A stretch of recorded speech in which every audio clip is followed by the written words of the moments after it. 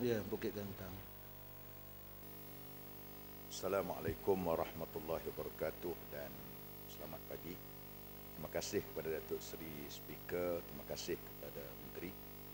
Uh, Saya nak bahas berkenaan dengan apa, butiran 020500 pembangunan prasarana. Iaitu saya nak menyentuh berkenaan dengan pengendalian ataupun jenama homestay yang sekarang ini masyhur digunakan di negara kita sebagai salah satu tempat untuk penginapan sama ada penginapan pelancong-pelancong dalam negara ataupun di luar negara. Jadi sini timbul persoalan yang perlu diberikan perhatian terutamanya dari segi sudut pengendali-pengendali homestay ini. Kita tak nak hanya nama di homestay jadi orang boleh bayangkan tempat tu tempat yang selesa, bersih, elok. Tapi kita masuk tidak menepati dengan apa yang dinamakan sebagai homestay ataupun tempat penginapan kita waktu kita pelancong, waktu kita menjadi pelancong. Dan lebih malu lagi kalau pelancong tu ialah pelancong daripada luar negara.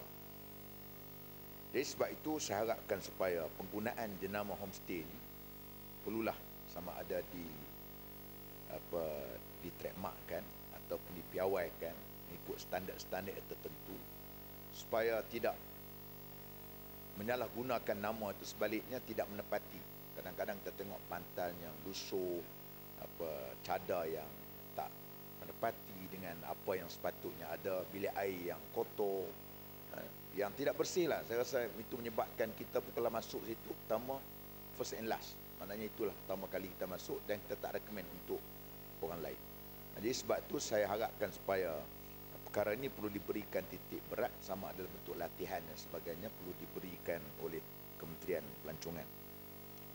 Uh, yang keduanya ialah berkenaan dengan uh, Bukit Gantang yang terkenal dengan kawasan buah-buahan uh, termasuklah juga di kawasan Padang Rengat.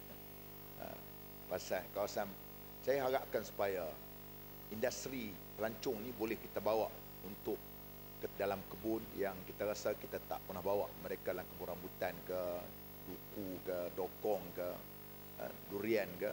Untuk kita masuk melihat dan apa di sana secara tak langsung kita akan dapat memberikan atau mendekatkan pelancong dengan industri-industri uh, pertanian yang ada di kawasan itu terutamanya pada musim buah-buahan dan secara tak langsung juga kita akan dapat um, memberikan uh, satu bentuk industri baru uh, hiliran yang lain seperti mana jam buah-buahan uh, tempoyak apa lempuk dan perkara yang berkaitan dengan buah-buahan yang boleh dipopularkan uh, untuk dengan kita menggalakkan pelancong ke ke tempat situ dalam dalam kebun-kebun tadi.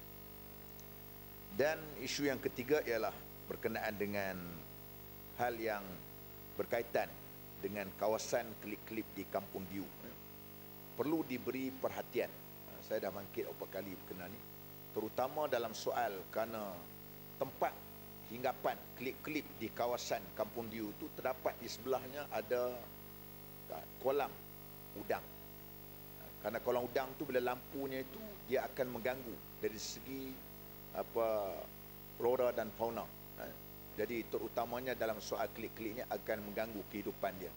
Jadi perlu diberi perhatian kerana kolam udang ni dunia lain boleh kita buat tempat lain. Tapi janganlah buat di tempat yang menjadi tempat untuk klip-klip itu berada di dekat dengan sungai Kampung Diu yang saya rasakan perlu diambil tindakan. Kerana ini kita bimbang takut berlakunya pupusan apabila apa, dari segi kehidupan tabi'i dia itu diganggu dia akan menyebabkan klip-klip ini tidak lagi akan membiak di kawasan uh, tersebut.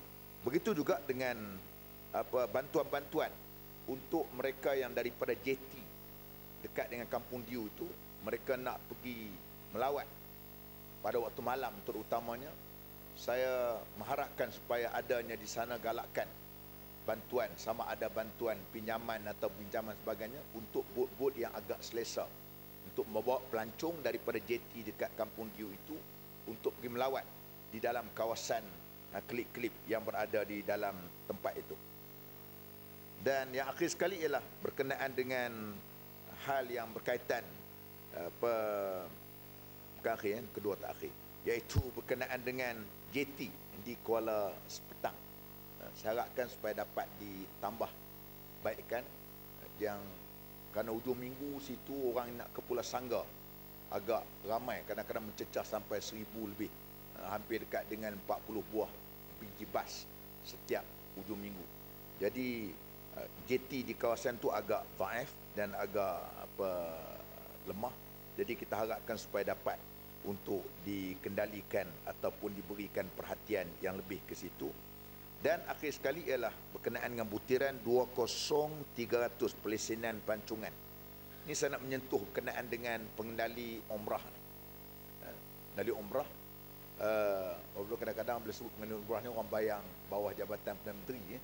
uh, dan pengendali umrah ni ialah bawah Kementerian Pelancongan eh.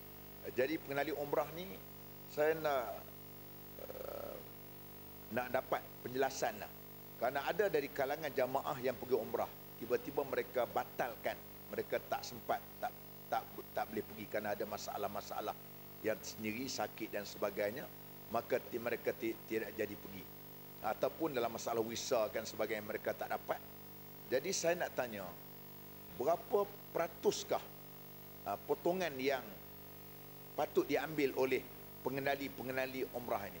Karena saya dapat maklumat kadang-kadang potong sampai seribu, dua ribu yang saya rasa agak melebihi lah yang menzalimi lah dari segi jamaah yang tak jadi pergi tadi. Jadi saya nak tanya daripada kementerian, berapa peratuskah yang diletakkan dari segi standardnya untuk membolehkan sama ada tolak dari segi pengurusan, dari segi uh, kerugian dan sebagainya yang boleh diambil oleh pihak syarikat itu tadi. Dan yang keduanya saya nak tanya juga berkenaan setakat ini berapa banyak syarikat-syarikat pengendali umrah yang diambil tindakan akibat daripada mereka telah melakukan perkara yang tidak bermoral dan juga menyalahi dari segi undang-undang ketika mereka mengendalikan uh, apa jamaah umrah ini. Terima kasih kepada Datuk Sri, terima kasih kepada Menteri. Yes, Tio. Terima kasih Datuk.